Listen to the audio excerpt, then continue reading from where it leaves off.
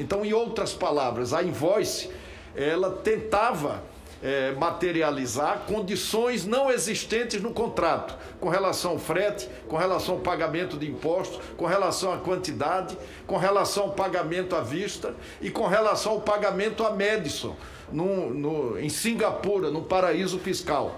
É, isso não, não é erro, não é erro. São inconsistências. É um. Inconsistências foram ah, todas corrigidas. Todas corrigidas em menos de 24 horas. Todas corrigidas. O senador. eufemismo que o senador não, Fernando não é Bezerra não. usa aqui. Presidente, eu cheguei dizer, tentar aqui... burlar um contrato é inconsistência. Não, Receber adiantado que o contrato não prevê. Por favor, Vossa Excelência não tem que responder ou vocês estavam trabalhando lá do lado dela para estar sabendo mais do que ela? É porque é o seguinte, parece que vocês não, senador, parece que Vossa Excelência trabalhava com ela, senador Fernando Bezerra. Está respondendo por ela?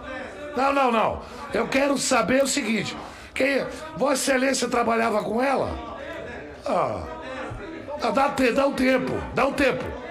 Dá um tempo. É pago. Tudo Vossa, foi. Vossa Excelência trabalhava lá, era auxiliar. Era auxiliar. Vossa Excelência era auxiliar. Era auxiliar? Era auxiliar? Eu estou sim perguntando para você se você era auxiliar. Porque tudo que ela responde vocês querem se meter. Ora.